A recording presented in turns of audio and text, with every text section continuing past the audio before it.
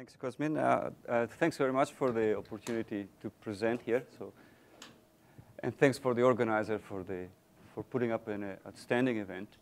So this is joint work with uh, my two colleagues at UBC. It's uh, Ron Giammarino and Ali Lazrak.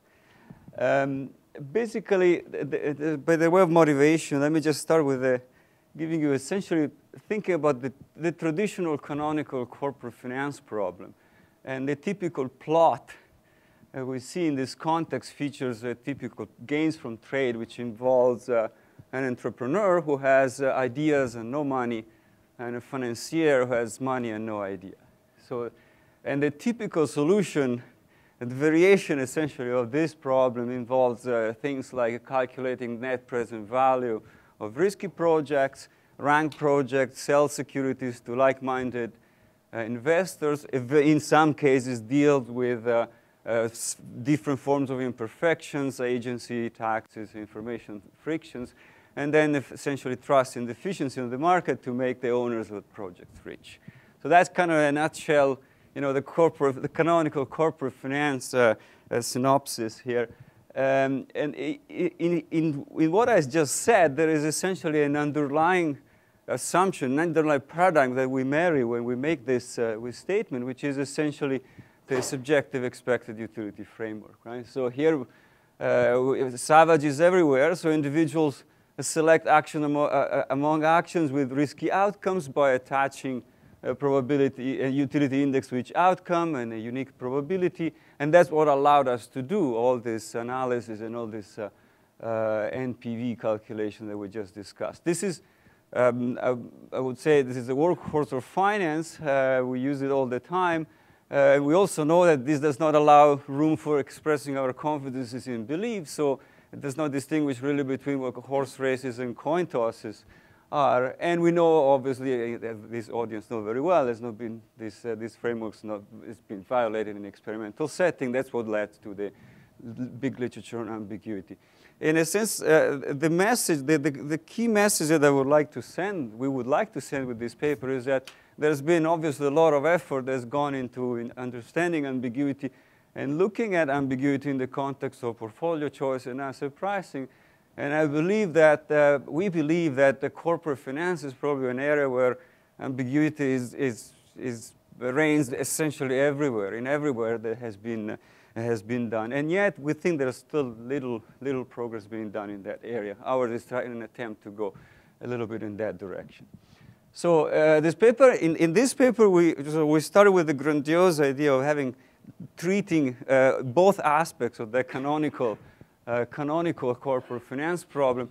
And uh, we narrowed down in the beginning to the first part of it, which is essentially what we do in this paper, which is the uh, handling the dynamic uh, corporate investment side of the equation, if you want. So a canonical model for corporate finance works well for uh, risks that are well understood or unambiguous risks, but it does not work well for risks that are unambiguous. And this, unambi uh, so this ambiguous risk are potentially socially important investment opportunity that would be interesting to uh, have a tool or have a set of tools to analyze. So uh, in this paper, we revisit the canonical model with ambiguous, not only risk, not risky projects, and we try to ask ourselves what are the implications for investment and financing decisions. And as I said, may, most of the focus for this talk is going to be on the investment decision. There's going to be uh, only towards the, the end, I'm going to make a foray into try to understand a little bit of possible implication for contracting and financing. So uh, to put things in perspective, though, so we're going to adopt essentially a multi-prior approach to decision making. But how do we get to multi-prior? Uh, I, I find it useful to have in my mental map the way in which we go, if you want, from a Savage to a multi-prior settings um, we can actually achieve a multi-prior decision maker in a, essentially in two, two big routes we can take here. One route, which is the one that's been well traveled and followed pretty much by all the papers that we have seen in this conference until now, starts basically from the experimental uh, uh, reason for why people have tried to generalize or, or, or, or weaken some of the axioms of Savage, which is basically the idea of weakening the independence axiom this allows us to explain Ellsberg type behavior.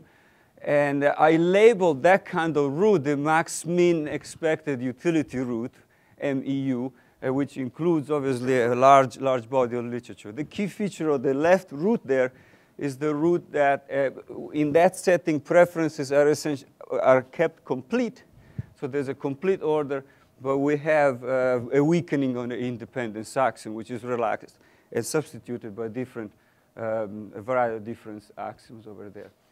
Uh, the second route in which you can also obtain decision-making rules that involve set of priors or multiple priors is the right route over there, which involves essentially a weakness, a weakening of a completeness axiom and preservation of all the other axioms of Savage. And this is a route that is uh, arguably much less traveled, and uh, uh, because it leads essentially to incomplete preferences. So basically, it leads to a situation where you cannot rank lotteries or you, you cannot rank acts when they're presented to you.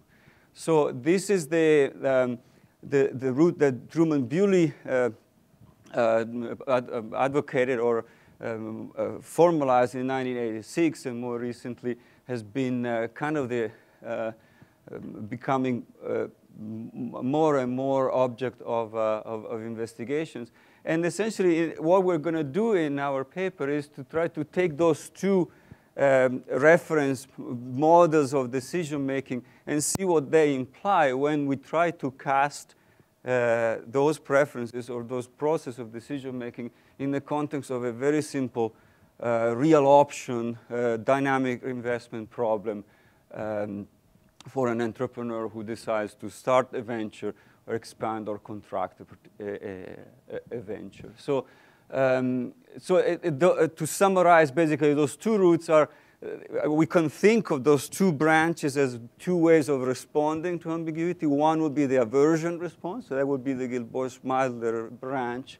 And the second route is, is, what I call there, maybe with a little bit of an abuse of uh, terminology, what I call indecisiveness.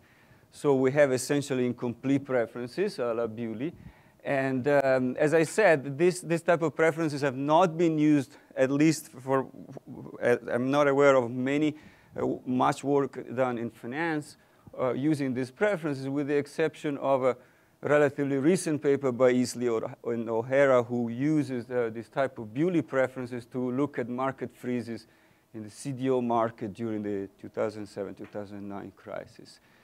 Um, so we believe that this is actually an interesting uh, thought to entertain, to have this type of uh, um, um unanimity type of preferences when it comes to corporate application, especially if you think about the fact that one could really relabel the decision maker entertaining multiple prior a as uh, not necessarily one decision maker, but as a group making decisions. So if you think about a a financing syndicate or a management team, a board of directors, then uh, you can see that the, uh, this, if the board of directors act according to votes, according to unanimity type uh, rules, then basically the, the structure of decision really look like or can be mapped quite nicely into the incompleteness type of preferences that uh, the Bewley models advocate.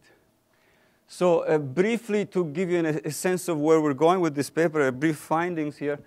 So in, uh, we look at the, uh, uh, to start with a very simple static context where an entrepreneur has an option to expand, contract, or, uh, um, or contract meaning shut down the firm. And we contrast the implication of those two, two models. We call the first one MEU, minimum expected utility, CEU stands for uh, consensus expected utility. Not surprisingly, in a, in a static context, we see that basically for the minimum expected utility entrepreneur is reluctant to expand and eager to contract. This is a signature of aversion, right? So if you have aversion to uh, an ambiguous act, you're going to stay away from it. You stay away when you have it, and you stay away when you do not have it. Uh, on the other hand, the CEU entrepreneur is, uh, has an opposite behavior essentially in the case of contraction, while it has the same behavior in, exp in, in expansions, right? So the CEU entrepreneur, as we will see, will be reluctant to expand and reluctant to contract. So there is essentially a built-in hang-on to loser type of behavior, which comes from this uh, built-in endowment effect, essentially, that these preferences have. What the static result is, is interesting in itself because it already generates a little bit of departure between those two types of uh, decision-making rule. But what most of the interesting, uh, most of the interesting stuff actually comes out when we look at the problem in a dynamic context. And over there, we, we, we see that this, uh, this type of preferences, CEU preferences, uh, for this entrepreneur, the worry about predictable changes in, the, in their preferences has implication on uh, their time zero decision. So in other words, if I know that I'm going to be hang up with a project in the future, that is going to lead me to be even more reluctant at time zero to actually undertake that particular, that particular project. So there's an extra kick, if you want, that an extra uh, uh, reluctance that's built in in these preferences. And finally, uh, this is something that uh, we stumbled relatively recently into, uh, is an issue of dynamic inconsistency that actually is uh, emerging in the, in the context of preferences of the Bewley type. And, and this basically shows up, as we will see, in the form that the entrepreneur at time zero is essentially naturally at a tension with itself at time one. So in other words, if he was able to pre-commit to a course of action, he would like to do things like start the firm and shut it down in the bad state. But uh, its time one self is not going to do it when we get to that stage. And as a consequence, at the, time zero, the time zero entrepreneur, if you want resolve recursively the problem, is not going to even start the firm in the first place. So we show that this if you, we call it a commitment problem because we have a recursive solution which differs from the pre-commitment one. Uh, we, we show that contracts in the form of, for example, of convertible bonds can be one way to, for the time zero entrepreneur to discipline, if you want, the preferences of the time one entrepreneur. And so there is a, a purely uh, commitment reasons to issue a security like a convertible bond that allows to uh, uh, uh, diffuse a little bit of this tension between time zero and time one. There's no financing reason for the convertible bond that we, we addressed, but there is a pure commitment reason for, for doing that. And um, the, we do not want to push it too far, but essentially, if you think about contractual form that we observe in the form of startups or in the form of early stages ventures, we, we observe forms of contract in the in the, in the form of convertible bond that can be linked to this type of particular situation. So ultimately, the goal of working on something like this is really to use the, the plethora of uh, results that we have or decisions that we observe in the corporate world or corporate lab to be able to uh, use those results to be able to tell us something about what are the plausible model of ambiguity or plausible model of decision making that can help us understand some of the corporate decision out there. And so uh, basically, this is, a, in a nutshell, the roadmap in which uh, we're, we're going to, I'm going to go over. okay, so uh, in the interest of time, I'm not going to uh, review the literature here, and I apologize for the many papers that are, are uh, people in this room that are listed in this slide. I just want to emphasize that there is relatively a, a lighter version of uh, the lighter weight of the literature has been placed on corporate finance. And as I said, my goal here is to raise the attention of the audience to, uh, we have so many sharp minds over here, and I think the corporate finance is an area where our efforts can be actually put into to work in, a, in an interesting way. So uh, just to, before we get into the essence of what we actually do, just briefly preliminary so we, we understand the, the, the type of graphs that I'm going to show to you. I'm going to be working very simply with a risk-neutral entrepreneur, which I will be labeling with an E, and who chooses among two acts. Uh, and in, in, this case, I'm just going to uh, lay out what the preferences are. And those two acts, F and G, uh, by, uh, by dimensional acts will pay out FU, FD, or GU and GD. uh, an act is ambiguous, is labeled as ambiguous, if the entrepreneur believes that the up state of that particular gamble occurs with the probability pi, and pi lives within a set. And if the set is not a singleton, then the act is uh, uh, labeled as ambiguous. And uh, with the degree of ambiguity is captured by this uh, parameter epsilon over there, and p is the center of the ball, essentially. An unambiguous act in a Savage world, basically, we're going to deal with a, a, set of prior, which is a set of probabilities pi, which is a singleton, and, or in basically meaning epsilon equal to zero. So uh, the, the preference, these are the three, essentially we're going to be working with three types of preferences and we're going to contrast the solution to our investment problem in, uh, according to these three uh, decision rules, essentially. The first one, obviously, expected utility, SEU preferences.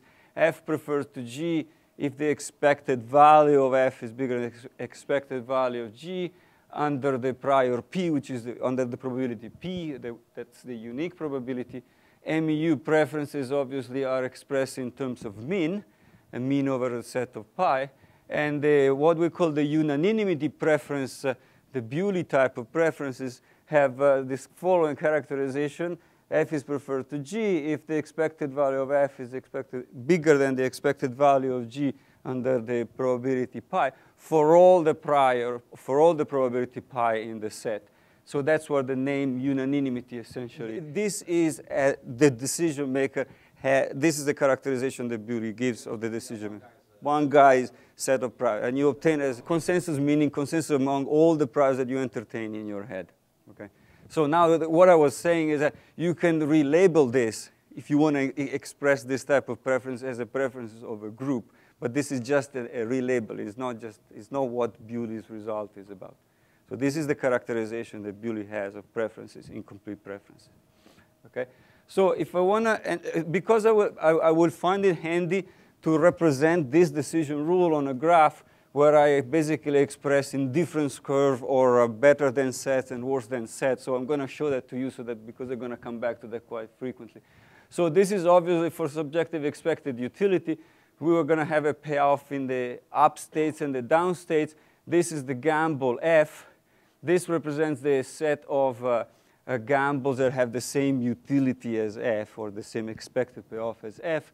Uh, the upper part, the, the darker part, represents the better than set, and the lower part is the worse than set. Uh, 45 degree line down there. Uh, the max, uh, the max, the minimum expected utility uh, you could show that basically the, the, the way in which gambles are ranked in this setting is through, so the indifference curve for this decision maker becomes kinked at the 45 degree line. And uh, over here you have the better than F, over here you have the worse than F. This is pretty standard. The slopes are related obviously to the, the size of this epsilon, right? So this is the P minus epsilon, it's related to P minus epsilon, that's related to P plus epsilon.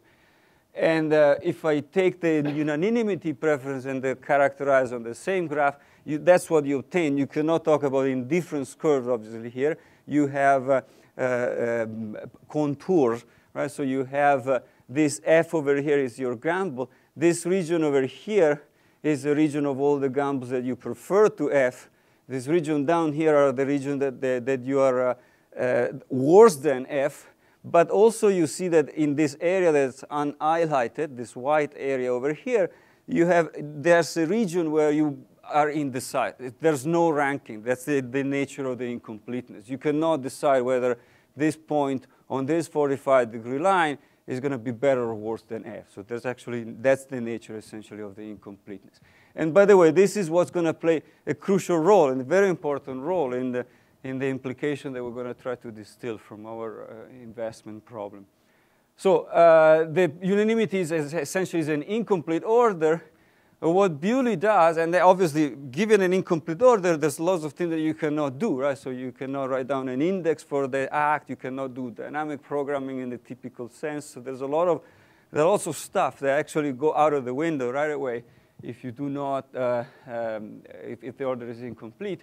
So uh, Bewley essentially completes the order in a very draconian way, and he says it does basically adds what he calls a inertia assumption, right? So it says, look, if you are, if you're a decision maker, uh, you identify as what, you, what he calls a status quo, and uh, if you cannot decide between uh, what, are you, what you call the status quo and an alternative, then you're going to stick with the status quo. So in the context of this example, if F is your status quo and I offer you a gamble on this unhighlighted region over there, you're going to stick with F. That is the built-in uh, uh, inertia, essentially, in this, in this type of preferences. And as I said, to answer to Jianjun's question before, I could think of this set of prior of, of, of, models that the decision maker entertains as either a one decision maker or as a, a, a group deciding, if you want. And uh, which raises a lot of interesting empirical questions. For example, where do priors come from? How does the group define the status quo? Is the majority rule the rules that used in the group? But we're not going to discuss too much about that. Okay, so uh, here is the, this is how we're going to try to put those three frameworks, essentially two frameworks, MEU and C uh, and, and C. Oh, by the way, what I called CEU, consensus expected utility, is basically the unanimity rule plus this inertia assumption, which is basically CEU is what I label as the Bewley type preferences. Okay, so I will be always referring to MEU, CEU, and I understand, just realized actually while I was preparing and, and before submitting the paper that uh, there's obviously potential confusion with the Choquet expected utility when I say CEU. So I hope, I hope uh, uh we're going to change that obviously in the next version of the paper. But uh, there's no connection with Choquet at all in this, uh, in this setting. Okay, so uh, the, the, the, problem we want to we want to study the simplest possible setup to see what are the, the key implications that we can get from these three, these two simple decision-making frameworks. So uh, we basically look at an ambiguous random walk, as we call it, right? So basically there are two dates at zero, time zero, time one, and time two. The, the reason why we want to have more than one date is because we want to study this issue of dynamic uh, inconsistency that we're going to talk about later. And uh, the, prior, the priors of the model that we look over here are independent over time. So we're going to be thinking of pi 0, pi u, and pi d coming all from the same set. And this, basically, these are the, the description of the evolution of the uncertainty in this world. So there's a pi 0 governing the first uh, part of the tree, and pi u or pi d governing the, the other two branches of the tree. And you, should, you should think of those as independent uh, and drawn basically from the same uh, set of potential priors. So essentially, there's four states at the end of the world here. Um, so the real option problem here consists very simple. At time zero, the entrepreneur decides if he wants to operate the firms or not by uh, committing a certain cost, unambiguous cost I0. If the firm is launched, the entrepreneur must decide at time one whether uh, he wants to continue, and which we label by C, in which case he keeps the scale of operation to what we call lambda equal to 1, expand, and by expanding meaning paying a, um, an ambiguous cost i and increasing the scale of operation to lambda bigger than 1, or contract. Contract meaning basically shutting down the firm, set the scale to 0, and receive a recovery value r, which again we label as unambiguous. Okay? At time t equal to 2, cash flow is received, which is a function of the realization of the state times the scale. And uh, uh, they, uh, in this, for, for now, let's assume the entrepreneur has enough wealth to finance the project, and we solve the problem essentially recursively. Okay, what, does that mean? Well, we determine at time one the expansion, continuation, contraction decision. Anticipating those decisions, we're going to go back at time zero in a uh, sophisticated way, if you want, and solve the problem at time zero, given what the entrepreneur is going to do at time one. Uh, briefly, to give you an idea, graphically, I think it's easier to understand what the technology looks like. Uh, suppose that we're sitting at time one, we have the firm, we already started the firm, we can only be at time one if we did start the firm. So we're sitting over here, this is our, if you want, status quo, which we call it the continuation uh, setup. If I scale up, basically scaling up meaning going along this ray by, uh, uh, by length lambda, and then paying the unambiguous cost i which basically makes me go down uh, in a, a 45 degree line fashion, parallel to the 45 degree line to a point lambda S2 minus I. This would be the expansion option. Uh, this would be the contraction option. When you contract, you shut down the firm and you receive an unambiguous uh, recovery value R, which is the, the uh, contraction. Now take this now and then superimpose those indifference curve or contour sets that we discussed before. Basically, you get essentially the decision rules that the different entrepreneur is going to uh, they're going to express depending on their preferences, right? So here I'm going to I'm reporting uh, in blue is the indifference curve of the MEU, the Gilboa-Schmeidler type of uh, entrepreneur, and in uh, at time one uh, where the status quo, the state of the firm now is in this point over here. And in red, we're gonna, I'm reporting the contour set of the CEU guy or the Bewley guy.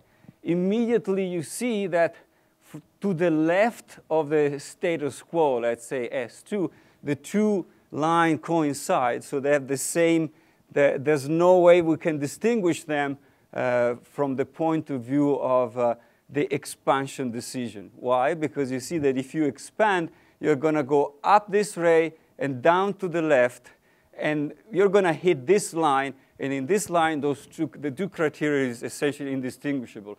And for that matter, you could think of those as subjective expected utility with a pessimistic p, where the p equal to p minus epsilon, essentially.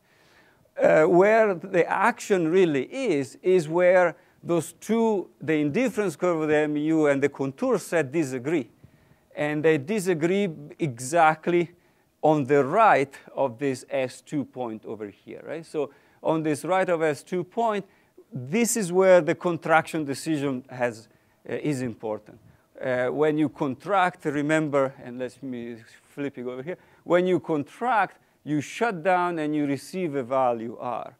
Now, whether you accept the op whether you accept the takeover bid for R or not, it matters whether you are MEU, which is the blue one, or whether you are a CEU, which are the red one. Essentially what it means, it means that the MEU is willing to give up the firm earlier or for a lower value of R than the CEU, which intuitively basically means that because I am endowed with this firm and I'm looking at the all possible uh, scenario in the world, the, the scenario in the world that makes me the most robust eh, from a point of view of a CEU will be the case in which the firm is very valuable and I'm giving it up. So that will be the cutoff that will make the CEU entrepreneur to accept the takeover bid, if you want, will be much higher than the cutoff that will make the MU entrepreneur to give up the firm. So that's what I meant originally, that we have this situation where the MU is eager to give up, while the CEU has more hung up, is more reluctant to actually give up the firm because of essentially this uh, uh, endowment effect. Essentially, if you think about it, it's like having a bid and ask spread built in here. Right? From the point of view of a, a Bewley type, the red guy over there, the MEU guy, he wants to get rid of the, and the, the, the red guy has an ambiguous earn, which is this S2, and uh, he's willing to give it up as long as you pay him an R, which is slightly above this blue kink over there. Okay? So the mean, so he, he basically assesses his own firm has the minimum value of S2 under his uh, set of priors. So that is the, the critical value at which the guy is going to be willing to entertain an offer to relinquish the firm to somebody else. So the min, uh, the, for, for, the MU is going to be using the, the P minus epsilon to SS, and the other guy is using the P plus epsilon, essentially, okay? Okay, now this is, in, in a static sense, you could get this essentially with transaction cost. It's essentially, oh, basically the same idea as having a transaction cost built in here. Um, so what things, when things become interesting is when you start putting this into a dynamic context. Now think about you are at, at time one, we have solved this problem. So we found obviously uh, under, under param different parameter value, obviously you can solve all possible combination of decision at time one. Uh, but we're going to be focusing on a particular combination of parameters that give us an interesting implication when it comes to dynamic inconsistency. Yeah. Yeah. Yeah. So the question is the following. Maybe I'm status quo biased with what I'm doing. Yeah. And uh, since uh, the firm is yours, Yeah. in a sense, I'm tempted to say that different alternatives may very well be conceived as ambiguous. But plausibly, the distribution of payoff that you get by sticking to your firm, Yeah. you know it. Yeah. Because you have all the data. But if, if this were the case, and I, I don't know whether it makes sense in a corporate finance environment, then inertia and uh, and maxmin coincide, right? Because in that case, you know the distribution of what you have. So in expectations, you are on a 35 degree line. Yeah. So, uh, so what you're pointing out is that if I'm running the firms, if I, if I own it, I know more about it. And hence my, the prior that I, And all the possible probabilities that I'm conceiving about the states over the payoff, I mean, will give me the same distribution for my firm. yes. Well, if I'm buying his firm, Well, you, but, but uh, that's true, but you're not buying, so the, the alternatives here that you're, I'm comparing with is, in this particular case, suppose that there's a takeover bid coming in in cash. So now you, you, so you may be uh, very well knowledgeable about your firm. That's still a, a risky, or an, let's it's a risky project or an ambiguous project, which is obviously more ambiguous than the offering cash that's, been, that's made to you. So in terms of, if I want to think in terms of probability sets, you attach a smaller probability set to your knowledge of your own firm. But what's coming in is, a, is an offer in cash. So it's a completely unambiguous alternative. So I'm not, I'm not sure whether, uh, because if the alternative is another, I understand if the alternative is another, taking over another firm's, uh, then we get into the situation that we do not know whether the set of prior that I use for my set, for my firm would be, uh, I should use the same as what I use for another set. So that's, that's the problem that we're actually not uh, addressing here. Okay, but we can discuss it further later. Okay, so uh, I want to emphasize, I want to basically look at the specific case for the dynamic problem, which looks at the, the following constellation of, uh, of parameters. So the constellation that I have here is the following. In, uh, think about the problem at time one. In the up state, yeah, in the up state, uh, we consider the case when in, in the good state, everybody, under all preferences, we're going to expand. In the down state, uh, we're going to uh, contract. Everybody's going to contract with the exception of this uh, CEU entrepreneur who will prefer to continue because basically under the, uh, the, the, the, the, you know, essentially he's, uh, he's a victim of his own uh, status quo bias. Okay, so that's, uh, I think I have a way of uh, showing it graphically if, if I don't mess up. Let's see. Yeah, so essentially this is the, the idea. This is the up state. In the up state, this alternative over here, which is the expansion, is preferred to, every, to, to the contraction alternative. The contraction is in the worse than cone. Uh, the, in the down state, I want to po position myself in this particular configuration of parameters. Expansion is not chosen by anybody. Contraction is chosen, which is this point over here. Contraction is chosen by everybody, SEU, MEU, but I choose it such a way that CEU is not going to go. So CEU is going to be stuck with the continuation option here. So I choose the recovery value in this particular um, uh, region. All right, so what we show here in this context, the impact of future delays contraction for the SEU entrepreneur, may, so CEU entrepreneur, makes this entrepreneur more conservative at time zero. And uh, the other two guys are going to go ahead with the project. The CEU, because the CEU anticipates the fact that I'm going to be in, if I go ahead, I'm going to be in a state in which I do not contract. This is very painful for me. I'm not going to do it in the first place. Okay? This is fine. Uh, this solution is dynamically consistent. But what is interesting here is the, is the following. The time zero entrepreneur would like if we were able to pre-commit, he would like, we show that he actually would like to start the firm and contract in the down node. That would be something that he would like to do. But he, anticip- but he knows that if I do this, time, my time one self is not going to actually shut it down. And therefore, that's what, uh, what comes up here.